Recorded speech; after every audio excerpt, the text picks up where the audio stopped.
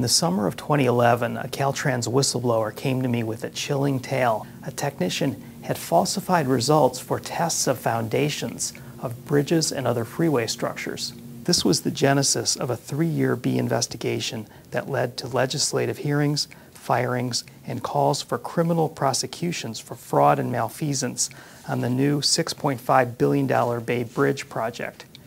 Caltrans had done little to examine the problem nor had the technician, Duane Wiles, faced any discipline. After reviewing 50,000 pages of internal documents obtained over the course of my reporting, my story revealed that Wiles had tested the concrete and steel foundation of the iconic tower of the new $6.5 billion Bay Bridge. Leading experts examined Caltrans documents and concluded that testing and design concerns cast doubt on the structural integrity of the tower foundation the Bee's coverage prompted a major Caltrans review. Caltrans concluded that the tower foundation had no defects, but its report was written by contractors whose own prior work on the bridge had been implicated and was overseen by experts whose financial and professional conflicts with the bridge project cast serious doubt on their impartiality.